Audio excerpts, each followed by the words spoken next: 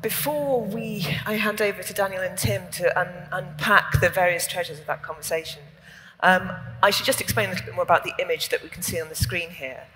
Because the house that is the Blackden Trust, the house with the, the gable end and the window that you can see there, isn't actually the house that my father talked about discovering.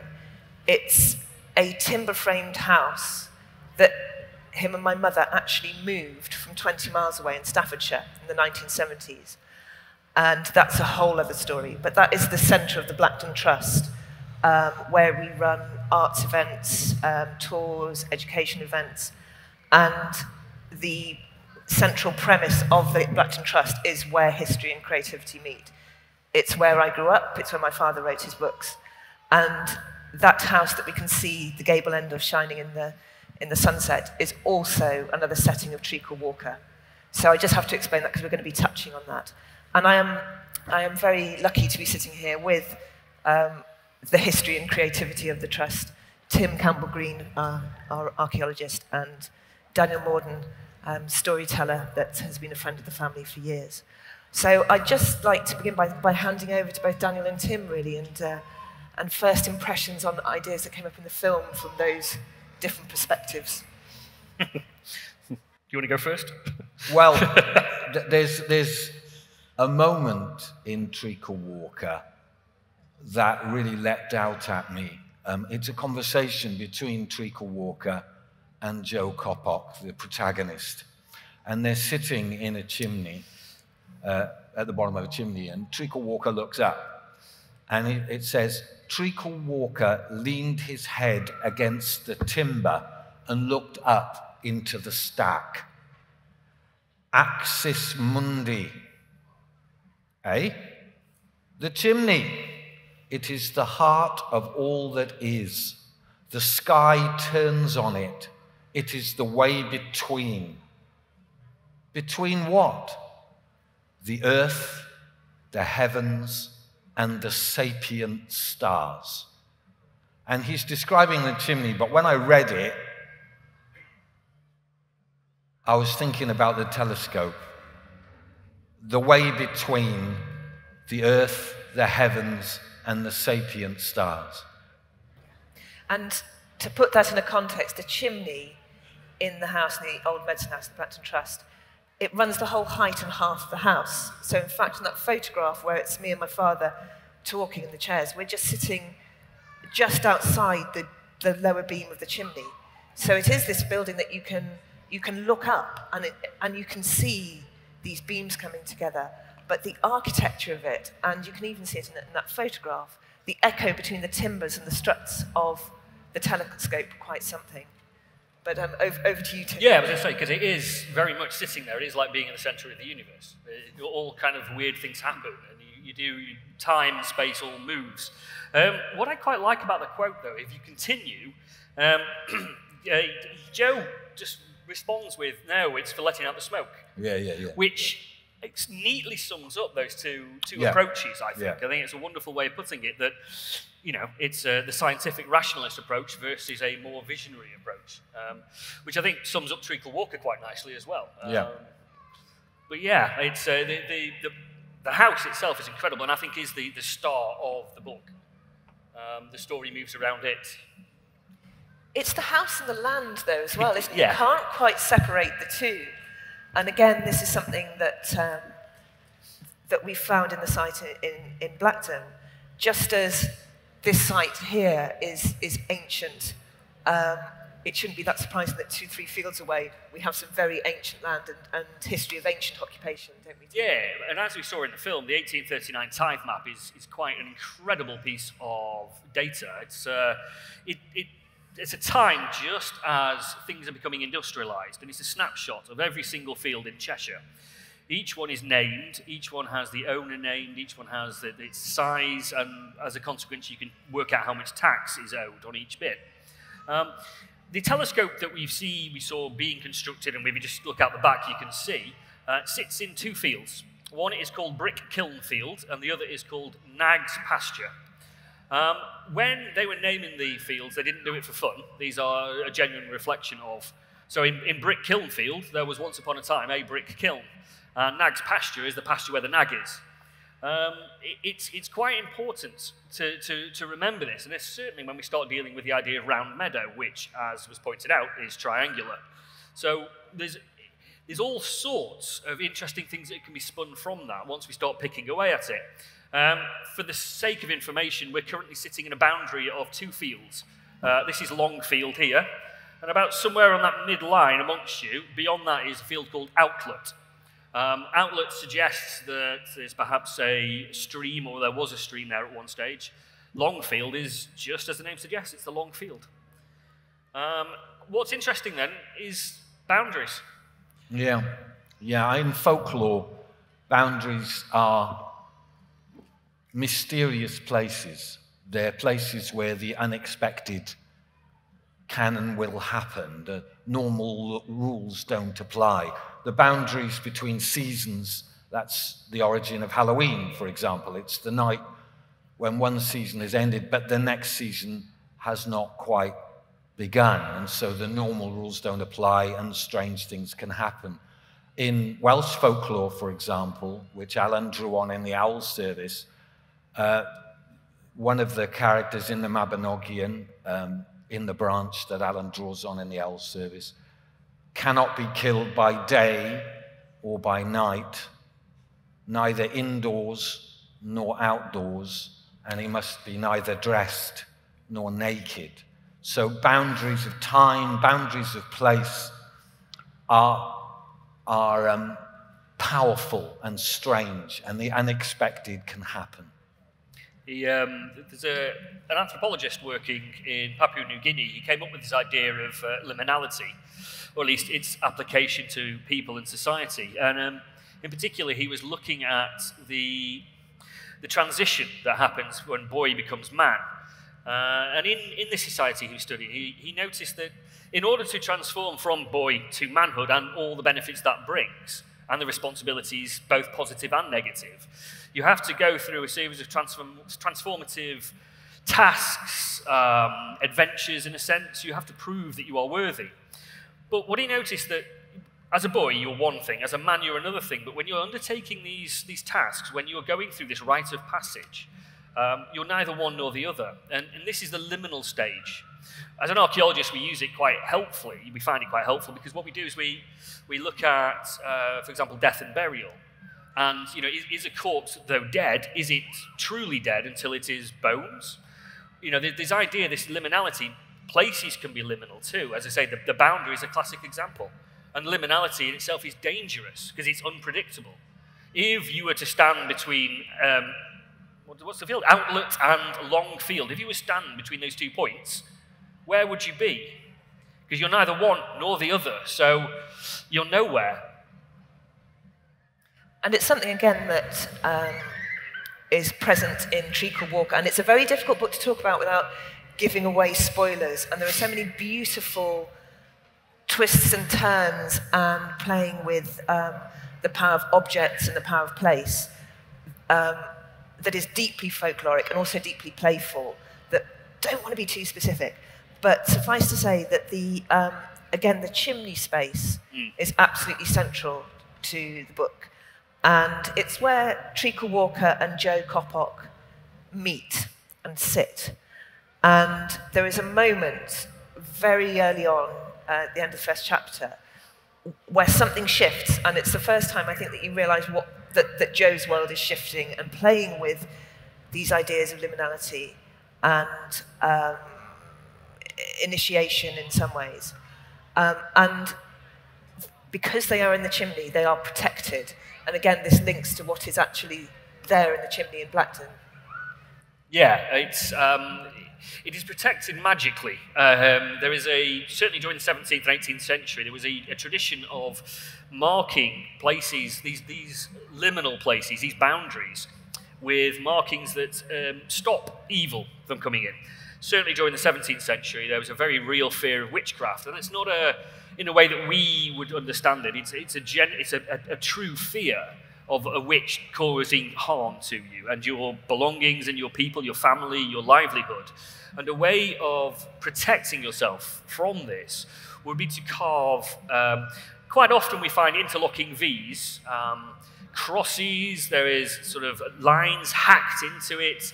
It's, a, it's, it's, they're constantly cropping up in buildings. I mean, it seems when we look for them, we find them in these boundary places, and certainly, uh, yeah, Blackden is no different. It is, it has a lot of them in the in the in the chimney space and the doorways and the windows.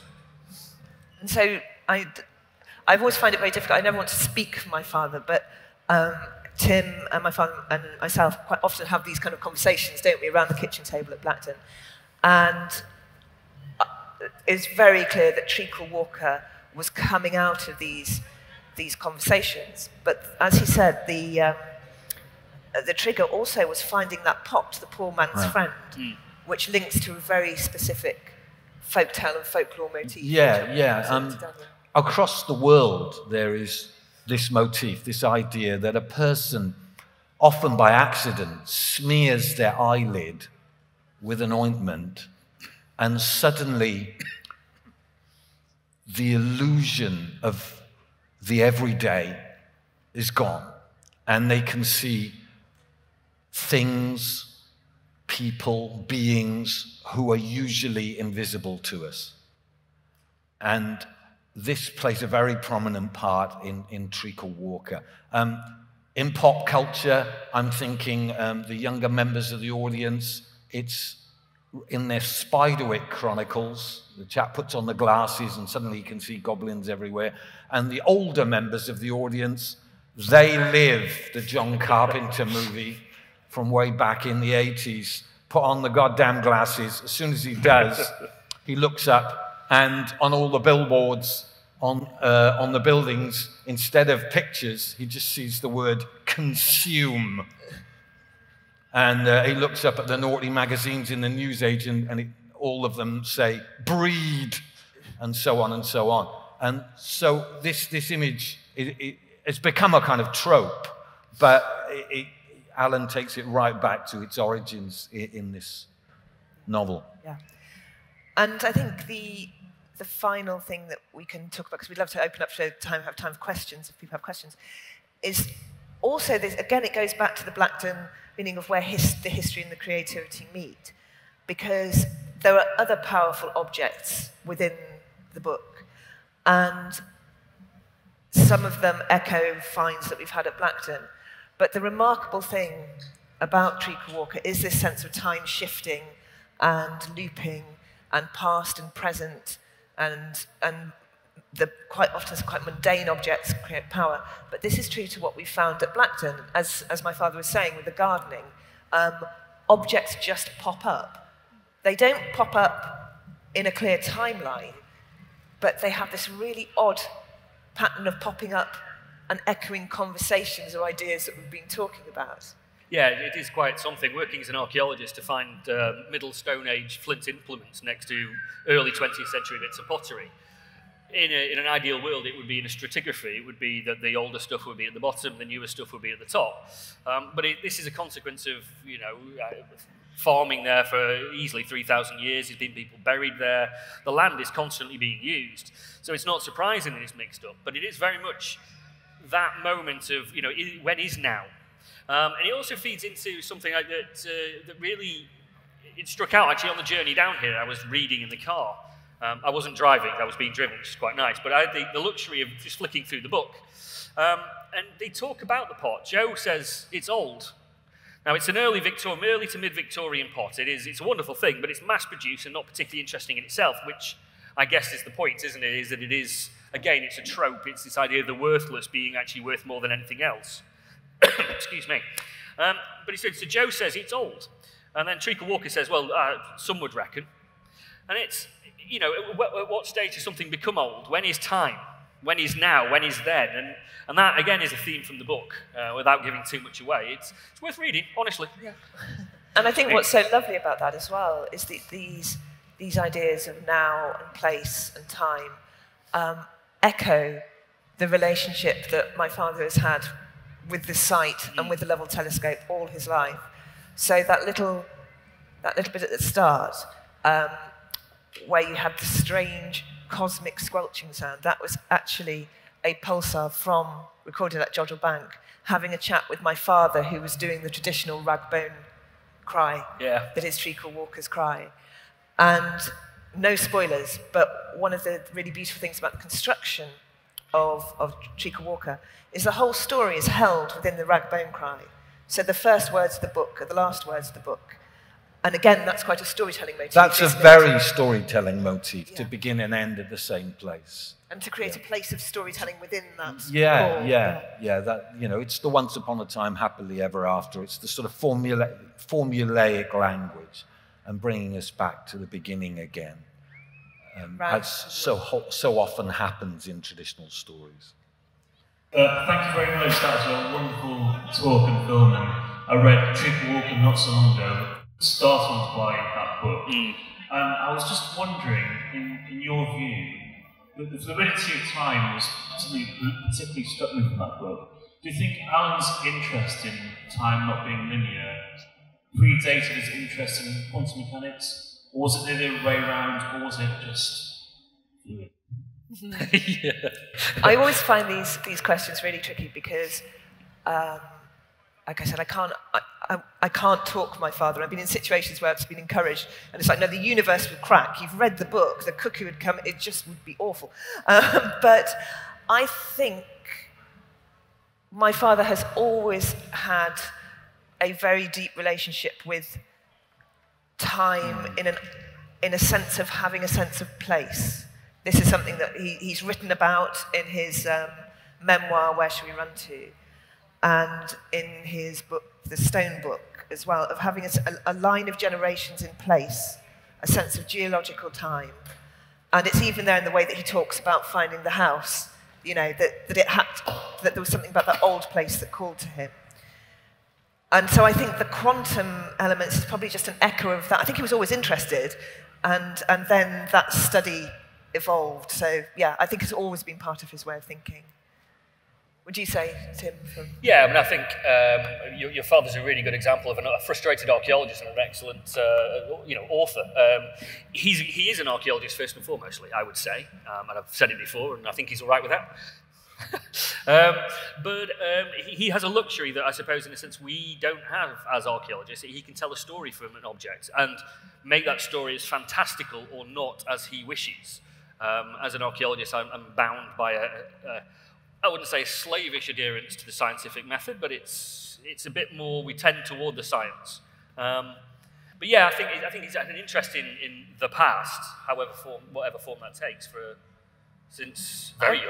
Yeah, I remember you saying, um, I think you put it really beautifully, Tim, when you said that my father has the luxury of being able to give a voice to an object. Yeah, very much so. Which is also something storytellers can do, isn't it? Yeah. By giving objects a power and a purpose and a voice. And Yeah, I mean, uh, there's a sort of alchemy. You know, he'll take an everyday object and make it meaningful, ma- transform it into something rare and precious and significant. I mean, the plates in the owl service, Yes.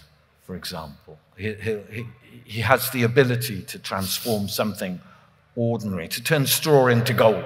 yes, yeah. Any, anyone else have a question? Ah, Yes. I like this as a race of microphones. Do I ring? I was interested in, in the video your father who talked about um, where creative writing comes from like within and a different state of being, and that's very different to analytical writing. And the concept. I just wondered if you could spend a few moments elaborating on and explaining a bit further. Um, I can try. I think I think my father is of um, a very specific generation, and again, he writes about this in his memoir, um, "Where Should We Run To," which was a a grew up in a working class environment, and was that first generation that was grammar school educated, and that was at Manchester Grammar School. In fact, the book is dedicated to, and then um, at Oxford University. And this is something that he's written about at length, so I'm really comfortable talking about this. He, he realized that academia wasn't the way that he wanted to set his mind, and he wanted to try and write a book. And I, I mean, oh, it's very hard to kind of navigate this.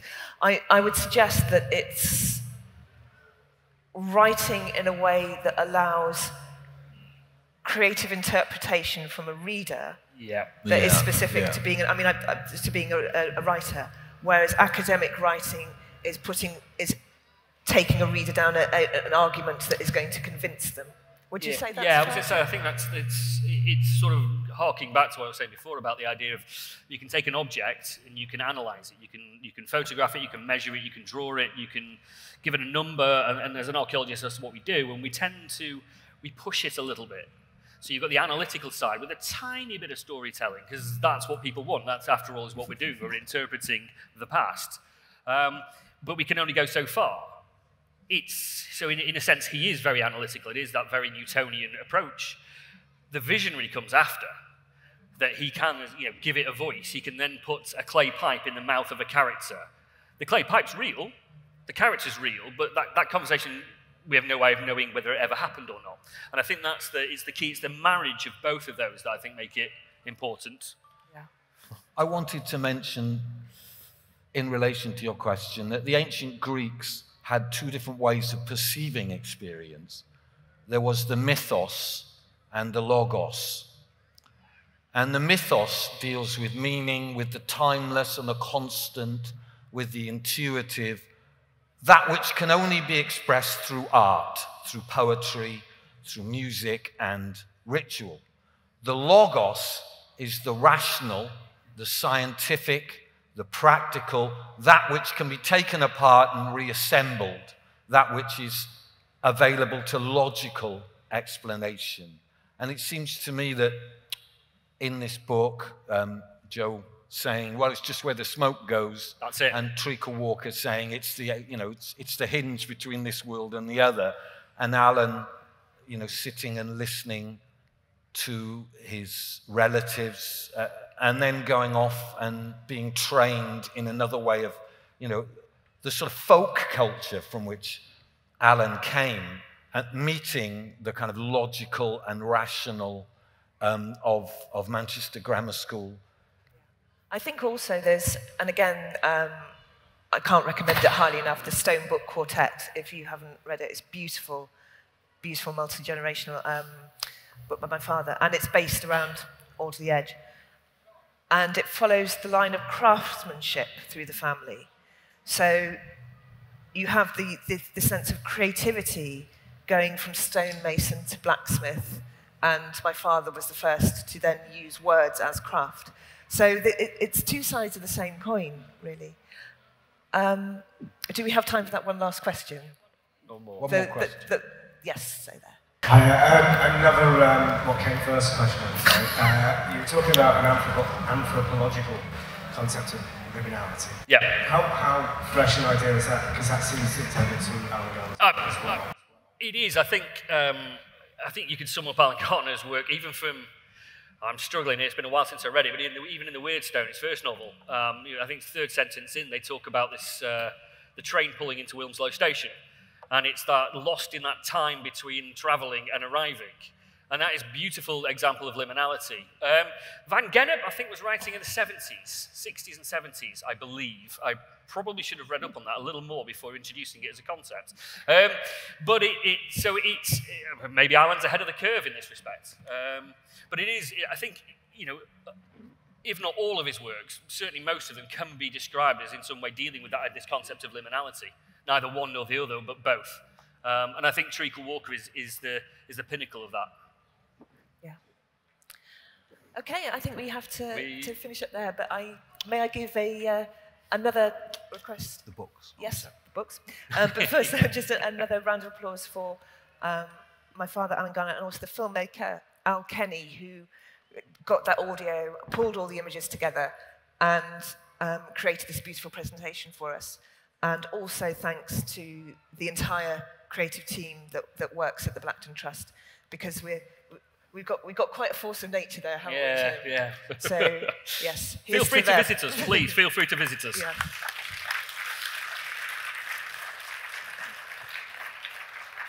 And yes, as, as Tim says, we, we do do tours. We're, we've got a few plans over summer. So the best place to find us is if you just look at um, the Blackden Trust as oh, I don't think they're going to let us put us up. um, uh, we've got a Twitter account. Um, you can also find, um, we've got a Facebook account, we have a website, the Blackden Trust. If basically, I think probably if you type in where does Alan Garner live in that weird house, you will get it. But um, yes, do, do come and see us and find out more. And we'll be around somewhere around if you fancy tracking one or two yeah. of us down and yeah, asking awkward questions. Yeah, we, we have a books free. table over there, don't we? we can, yeah, thank you. Yeah, can I just ask you to thank again Elizabeth Daniel and Tim for a fantastic talk, fantastic discussion about our locations, surroundings. And yeah, they're going to be down.